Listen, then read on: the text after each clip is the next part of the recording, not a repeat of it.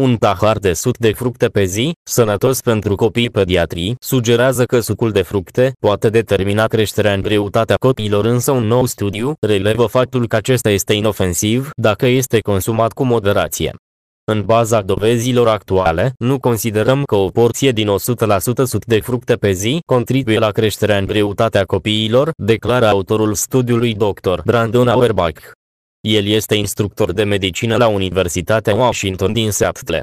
Pentru a ajunge la această concluzie, cercetătorii au comparat rezultatele a 8 studii publicate în care au fost implicați 34,0000 de copii și care a analizat consumul de suc de fructe și efectul pe care îl are asupra greutății corporale.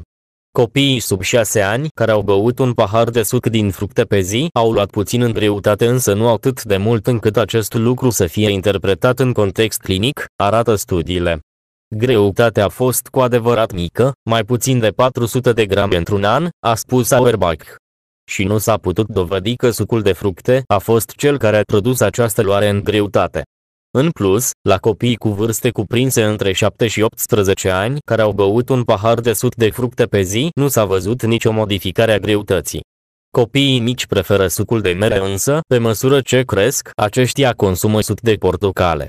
Autorii studiului afirmă că sucul de portocale, care are un index glicemic scăzut, poate fi corelat cu o insignifiantă modificare a greutății corporale. De regulă, mâncărurile și băuturile cu un index glicemic mic sunt corelate cu o ușoară și înceată creștere a nivelului de zahăr din sânge. Cercetătorii au ținut să precizeze că studiul s-a axat pe sucul din 100% fruct nici de cum pe sucurile sau băuturile acidulate aromatizate artificial. Principalul autor al studiului, Dr. James Krieger, este directorul executiv al organizației America Mănâncă Sănătos. El declară, Dovezile pe care le avem asupra creșterii în greutatea riscului de a te îmbolnăvi de diabet sau de alte boli datorate consumului de sucuri îndulcite și aromate artificial sunt foarte solide.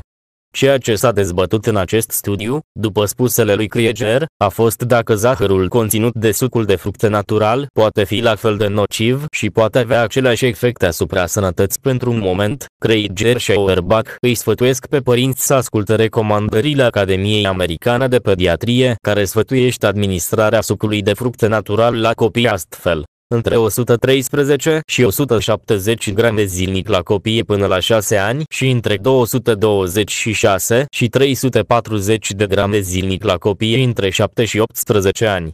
Connie Diekman, director la Universitatea de Nutriție din cadrul Universității Washington Dinst. Lui s-a spus că aceste descoperiri pun această problemă în perspectivă. Preocupările în ceea ce privește obezitatea infantilă i-au determinat pe mulți cercetători să găsească mâncărurile care pot cauza acest lucru, a explicat Diepman.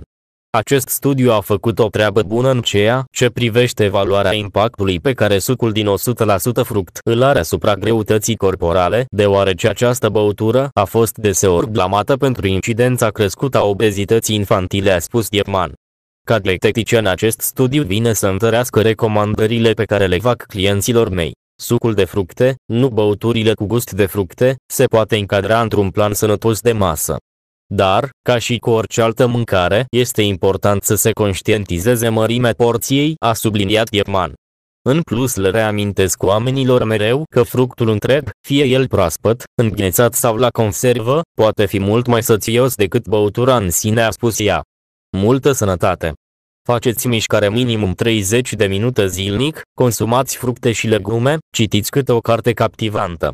Abonați-vă, apreciați materialul și distribuiți canalul.